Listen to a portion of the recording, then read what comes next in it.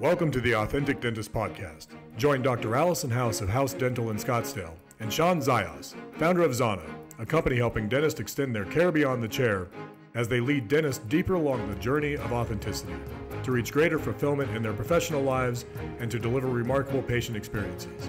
At the core of the authentic dentist is a belief that the answer to the current challenges in dentistry is dentists discovering that their greatest asset and point of differentiation is their personal brand, and that forming that brand out of their authentic selves is the best strategy for success in dentistry today.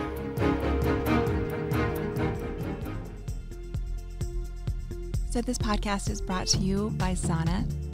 And Zana makes electric toothbrushes, but it's more than that.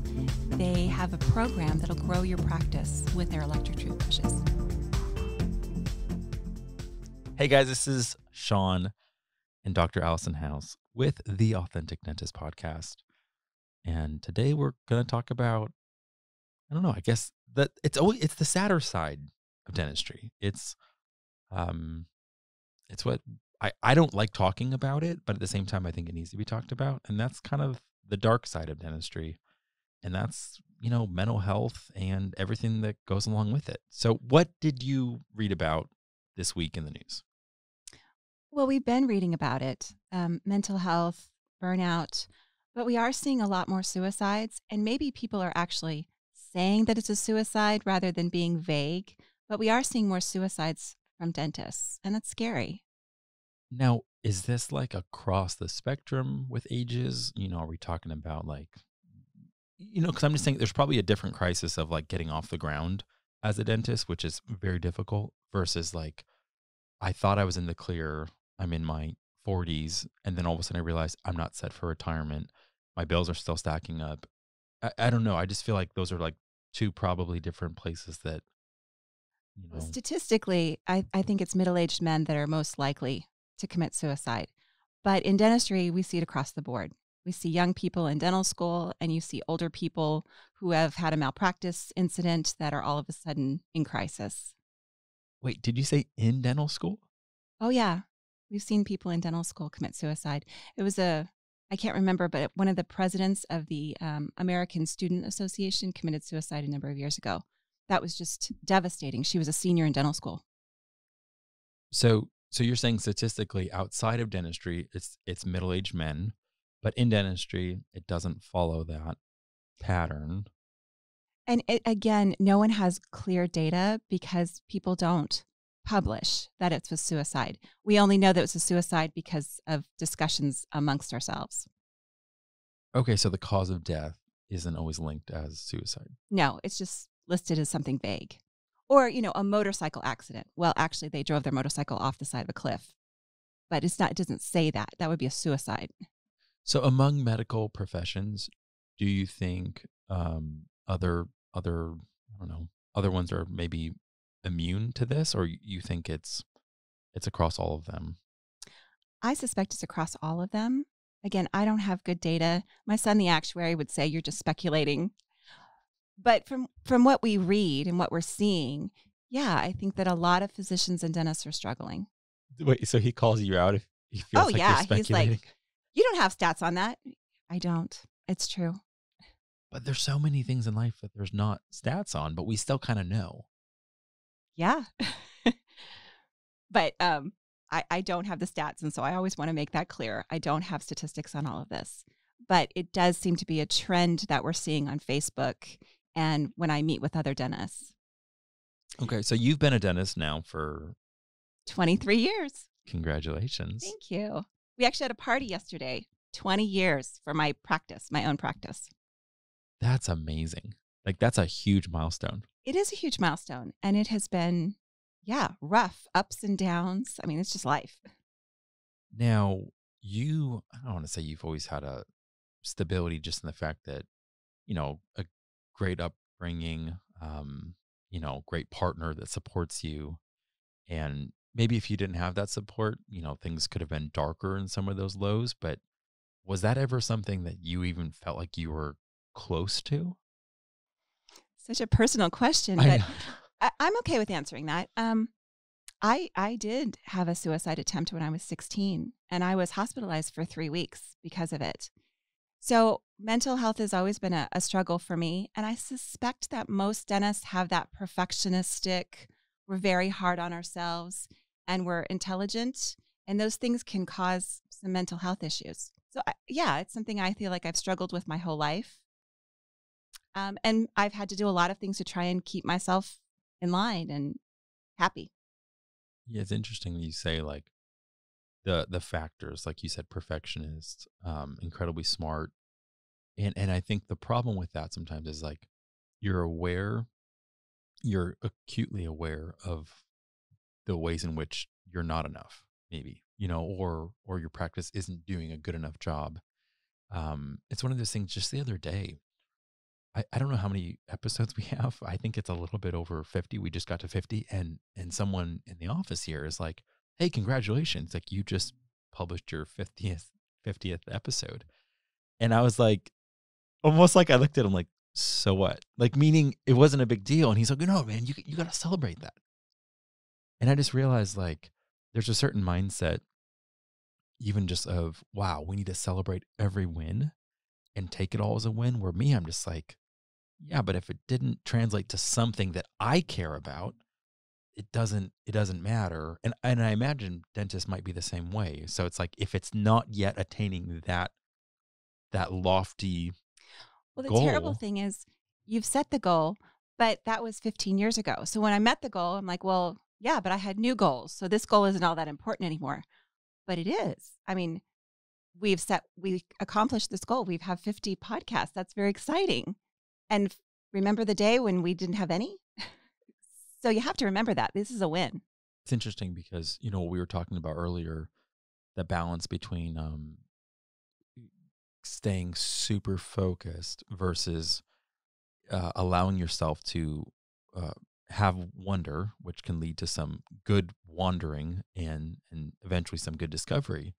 And it's almost like in the same exact way that tension between yeah, you you want to look at reality and know what reality is. You don't want to just live in some sort of uh, delusion. But at the same exact time, I think reality can be skewed sometimes if we're focusing on the wrong things and making making those things too big. You know, the the areas in which again we're shortcoming or all the issues. You know, you could talk to a dentist and they could be like, yeah, but this is this is how many patients come back and this is why we keep having missed appointments and this is my staff turnover and they could just keep seeing all the ways in which they're still haven't figured it out and this is why my debt keeps piling up but they may not be seeing the ways in which they have grown the ways in which there's still so much hope and reason to hope and reason to believe um it's that comparative though. You know these these young people at that profoundly gifted school would look around and say well i'm not very smart well, how ridiculous. Of course, you're very, very smart, but you're not the smartest person at the profoundly gifted school. So you have to look at like the entire picture. You have a practice. You're making more money than most people in the country. I mean, let's let's get real here. You're doing well. That is so interesting. That, I think that's been something I've always struggled with because uh, you know, the second I started a business and it was a startup, I'm like, "Oh, why can't I be as successful as like Elon Musk? Right. Or Facebook, you know, Zuckerberg. and all of a sudden it's like that becomes, yeah. The, You're who you compare yourself to. But that's like three people in the country. you, you have to look at the entire picture. And if you look at the entire picture, you're doing incredible. But we, we don't do that. We only compare ourselves against the top. It's not reasonable.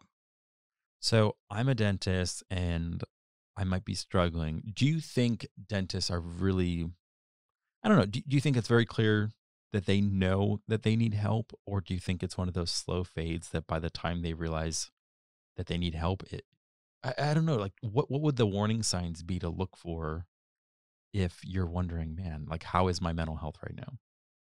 Well, I think you start seeing some signs of depression where you don't want to get out of bed.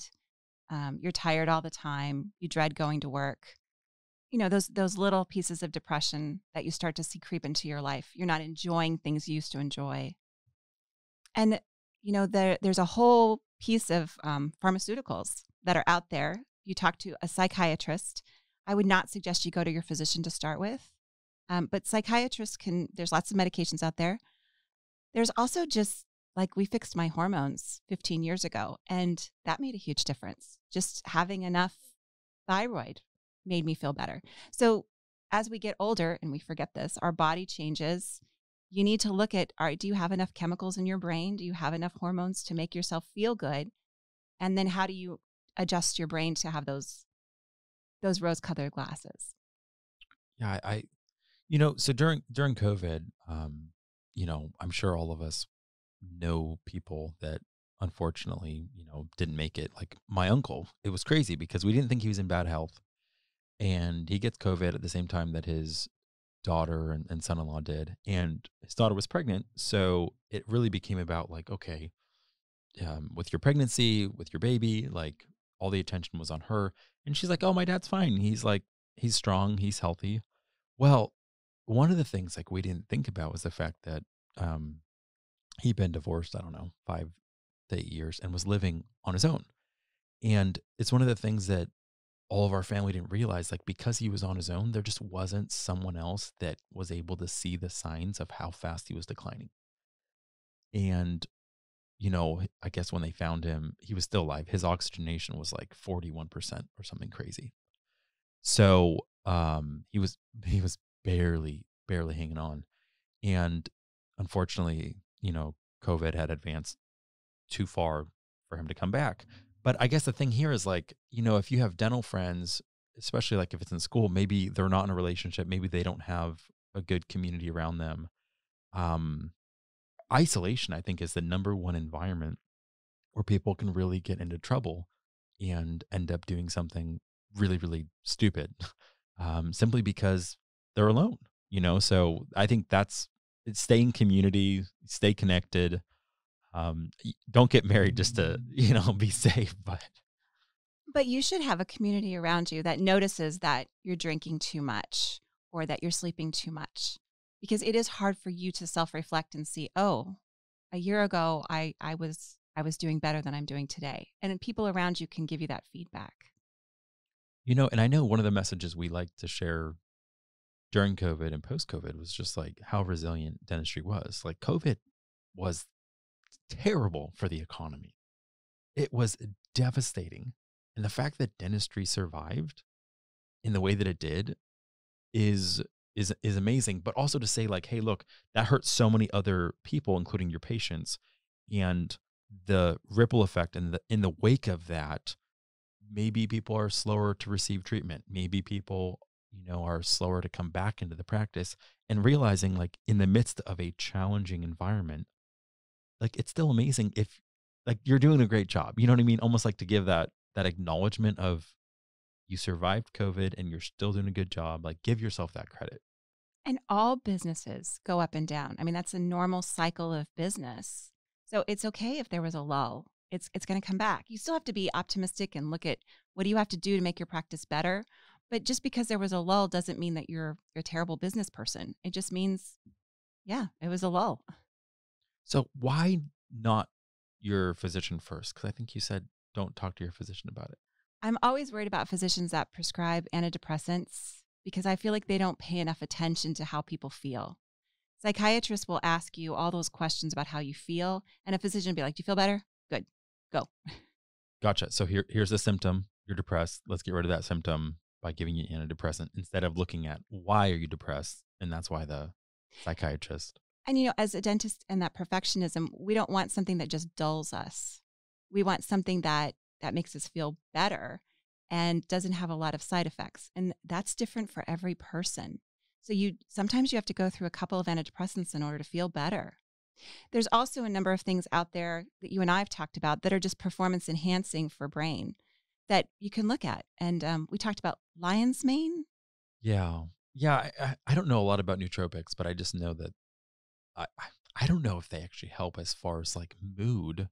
I just know they help as far as cognition, focus, and that feeling of like alertness. Um, but, but, but those are all brain chemicals. Yeah, that enhance your brain, and those are those are helpful. So you don't necessarily have to go the pharmaceutical route. There are other options that are natural. But whatever you do, you need to do something to keep your brain healthy and focused. And I think we need to recognize that most physicians, remember, physicians have to work 36 hours in a row, oftentimes, they're not doing that without something. Just recognize that they are taking something in order to survive that 36 hour shift. There's nothing wrong with taking, you know, something healthy like caffeine. So, my last kind of thought here is you know, whenever we talk about something as negative and sad as like, you know, suicide rates in dentistry, like I think the positive is that like actual dentists are struggling. And you know how sometimes because of social media or sometimes because of going to shows, everyone shows up with like their best, like, oh, I'm just crushing it. My practice is doing amazing. And it almost paints this picture of like, well, something's wrong with me because my practice isn't amazing. I am struggling. I don't know why the patients aren't coming back. I don't know why the checking account doesn't look good at all. And I don't know how to pay my team. And it, it can just create this this false reality, this this facade that doesn't exist. So every now and then when we do talk about this, it's kind of like hopefully people can get that encouragement of like, wow, like it's okay that I'm struggling. It's okay that dentistry is difficult. But the message here today is like, yeah, but there's hope, you know, and and you can do this. You are resilient. You are capable, and there's plenty of dentists around you um, that have walked this path and have found a way to overcome. Yeah, dentistry is is a great profession, but don't compare yourself to the three people you see on Facebook that keep posting their cases. Those are three people. There's 160,000 of us. We're all struggling sometimes. Thank you for listening to the Authentic Dentist Podcast.